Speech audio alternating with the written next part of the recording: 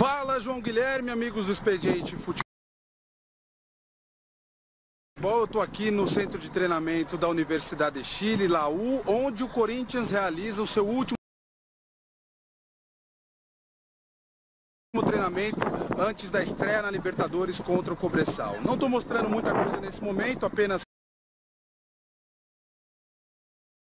os Andes como paisagem atrás de mim, porque o Tite já faz aquele tradicional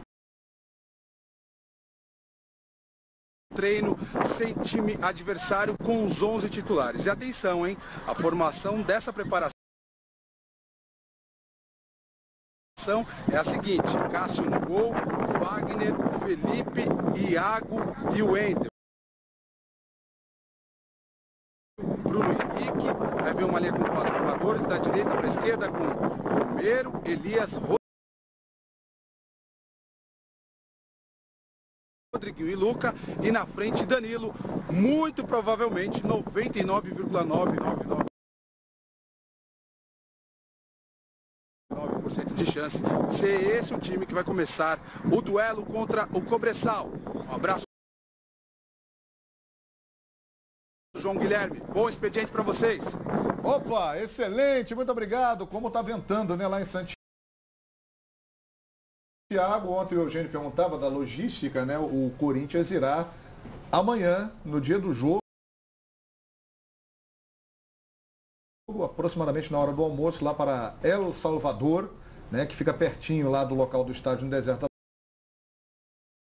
Atacama e o Corinthians ficará pouco tempo naquela região árida, difícil, é a logística do Corinthians para essa estreia amanhã na Libertadores, que você vai acompanhar no Fox Sports com a estreia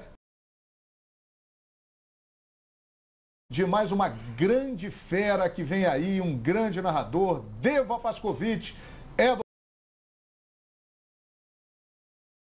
Fox Sports vai narrar o jogo para fiel e para todos que curtem a Libertadores da América.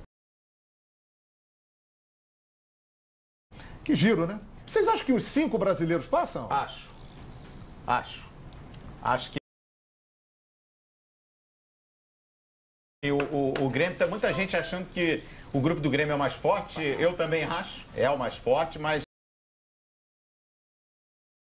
já disse aqui várias vezes, o Grêmio costuma crescer contra fortes adversários e costuma se complicar quando o adversário é mais modesto. Então acho que o Grêmio vai passar nesse grupo e o restante não tem